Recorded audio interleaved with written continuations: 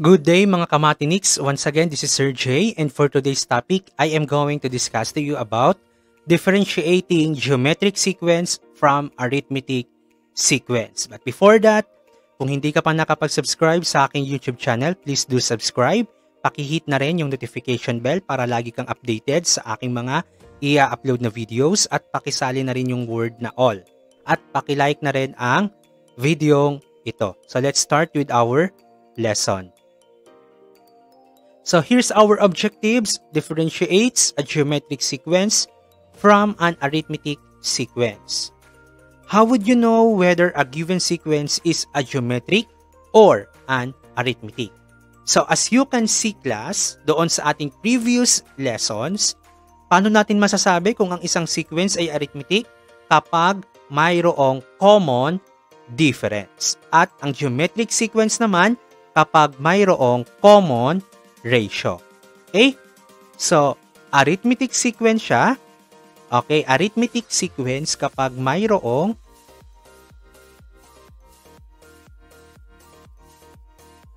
Okay, kapag mayroon siyang common difference.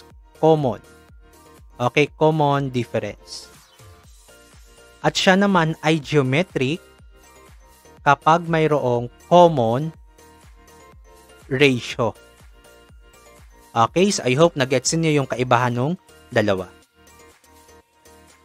Tell whether each of the following sequences is an arithmetic or a geometric. If it is an arithmetic sequence, give the common difference. If it is a geometric, give the common ratio. Okay, number 1.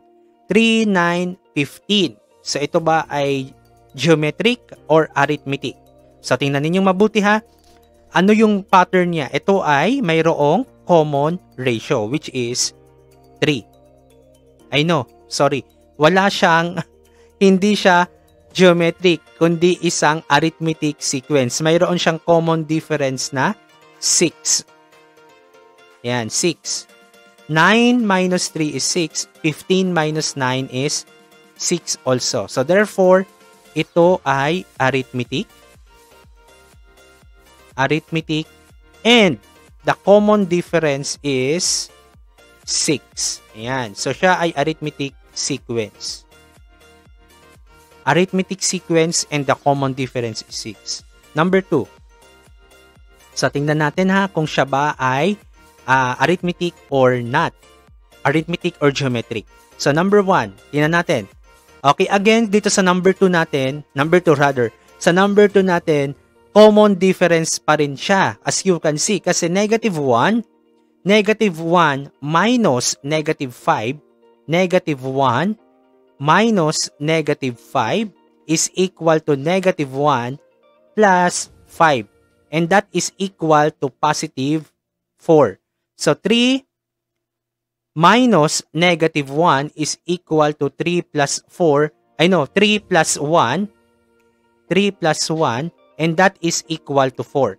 So ito ay arithmetic sequence pa rin. Arithmetic sequence. And the common difference is 4. Okay? Number 3. 5, 20, 80, 3, 20. As you can see class dito, klarong-klaro na to eh. So 5, uh, 20 divided by 5 is 4. 80 divided by 20 is 4 also. Then 320 divided by 80 is 4 also. So ito ay geometric sequence. Geometric sequence. And geometric sequence siya and the common ratio is 4. Okay, another one. 5, negative 10, 20. Klarong-klaro din to. Ito ay negative 2, negative 2, negative 2. So ito ay geometric Okay, geometric sequence. And the common ratio is negative 2. Number 5. Negative 10, negative 4. Tingnan ninyong mabuti class. Okay, negative 10 minus Okay, negative 10. Ito ay common difference, I think. Negative 10 minus negative 4. Okay? So, negative 10 plus 4 is negative 6.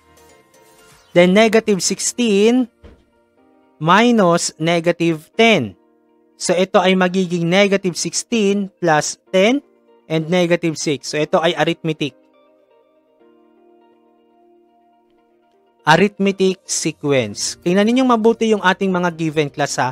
Kung mayroon siyang uh, common ratio or common difference. So dito, ito ay arithmetic sequence and the common difference is negative 6. Okay, another one. During community quarantine, Peter saved 20 on Monday, tapos 25 on Tuesday, 30 on Wednesday, and so on. Okay, and so on na. So, as you can see class, ito ay arithmetic. Ang common difference dito ay 5. So, arithmetic pa rin to. Arithmetic sequence. And the common difference is 5.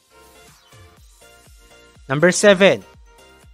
Suppose you save 1 peso on the first day of a month. Tapos 2 pesos on the second day, 4 pesos on the third day, and so on. Okay, ano bang meron dito, class?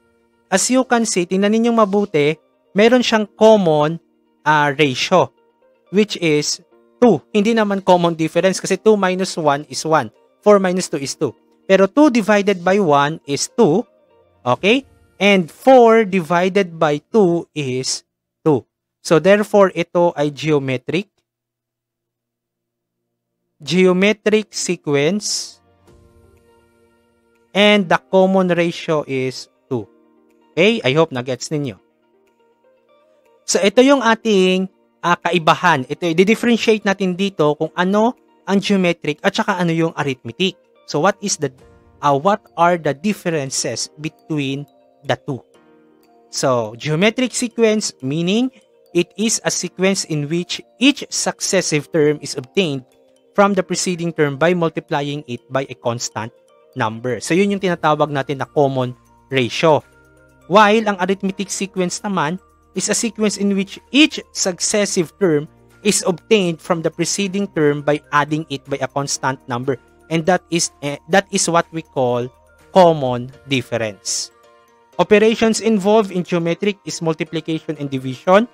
Operations involved in arithmetic are addition and subtraction. Ang variation of terms niya, ang geometric ay exponential, tapos ang arithmetic naman ay linear. So we have here uh, true or false lang. Geometric sequence is a sequence where each term after the first term is obtained by multiplying the preceding term by the common ratio. It is true. Okay, true yan. Next. The common ratio is the fixed number added to each term of the geometric sequence to obtain the next term of the sequence. Common ratio is the fixed number added common ratio is the fixed number added to each term of the geometric sequence. False. That is false. Palitan lang natin yung kulay. Okay, black. False. So, ito yung ating sagot dito, false. Okay, next. Fixed term. Cause a common ratio is the fixed term num fixed number added. Dito nagkamali yung statement eh, sa word na added to each term of the geometric sequence dapat multiplied to each term of the geometric sequence to obtain the next term. Tingnan niyo mabuti yung ating statement. Arithmetic sequence has a common difference while geometric sequence has a common ratio. True. Okay, true. Next. The sequence negative 2, 6, negative 18, 54 has a common ratio. Tingnan natin kung may common ratio siya. 6 divided by negative 2 is negative 3. Negative 18 divided by 6 is negative 3. And 54 divided by negative 18 is... Okay, negative 3 also. Okay, so true. Ang kanyang common ratio. True. Meron siyang common ratio, which is negative 3. Okay, next. The common ratio of the sequence negative 2, negative 8, negative 32, negative 128 is negative 4. Mali na. Negative 8 divided by negative 2 is positive 4. Positive 4. It should be positive 4, not negative 4. So, false yan. Okay? Next, complete each table below. Write whether each of the following sequence is arithmetic or geometric. Kung ito ay arithmetic, hanapin ang common difference. At kung ito naman ay geometric, hanapin ang common ratio. Then write the next term of each sequence. Okay, so number 1, 7, 10, 13, 16. It is an arithmetic. Okay, arithmetic to. Bakit siya arithmetic? Kasi may common difference which is 3. Yung ko ano, oh yeah, common difference is 3 and then the next term is 16 plus 3 is 19. Next, uh, 36 divided by 9 is 4. And then 144 144 divided by 36 is 4 also. Okay, so therefore ito ay geometric. 4 din yan. So ito ay geometric. At ang common ratio ay 4 at ang next term niya is malaki-laki to 144 times 4. 576. 576 ang kanyang next term. Next. Okay, negative 12 divided common difference kaya ito? No, hindi. So, ratio pa rin siya. Negative 12 divided by 2 is negative 6. Then, negative, uh, 72 divided by, okay, 72 divided by negative 12 is negative 6 also. And then negative 432 divided by negative 432 divided by positive 72 is negative 6 also. So negative 6 din. Negative 6 yan. Negative 6. So geometric to. And the common ratio is negative 6.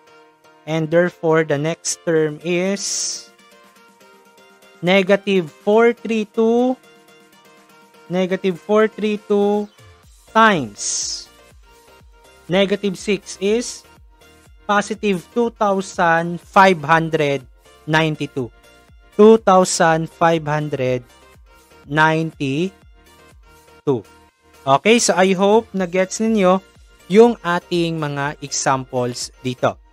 So, see you again sa ating next video lesson Thank you for listening.